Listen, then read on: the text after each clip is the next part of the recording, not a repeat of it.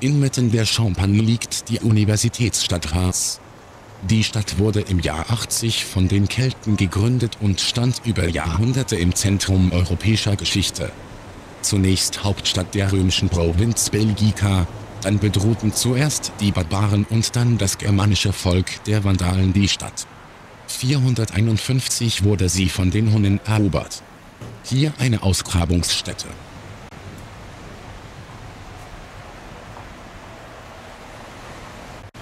Am 7. Mai 1945 wurde in Reims, im damaligen Hauptquartier von General Eisenhower, die bedingungslose Kapitulation Deutschlands unterzeichnet.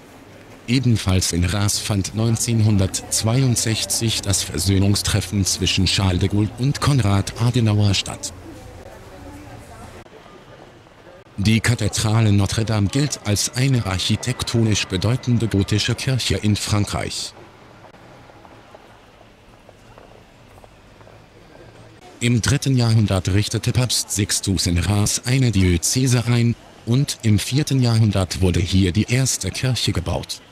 Nach einer Legende hatte gegen Ende des 5. Jahrhunderts der heilige Remigius als Bischof von Reims den Frankenkönig Chlodwig I. getauft und mit einem vom Himmel herabgesendeten Öl gesalbt. Daraus leitete der Erzbischof das Recht ab, in der Kathedrale von Reims die Könige von Frankreich zu krönen. Das war entscheidend für den Aufbau des Frankenreiches. Zwischen dem 12. und dem 19. Jahrhundert wurden hier fast alle französischen Könige gekrönt. Reims ist also eine Art nationale Gedenkstätte der Franzosen.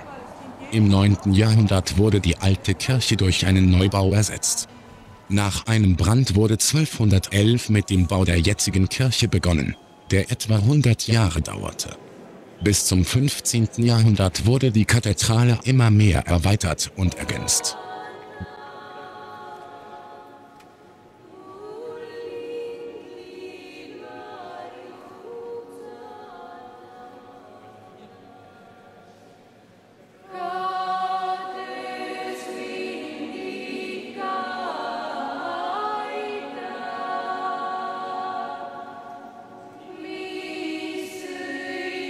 Durch die deutsche Artillerie wurde die Kirche im Ersten Weltkrieg vier Tage lang beschossen.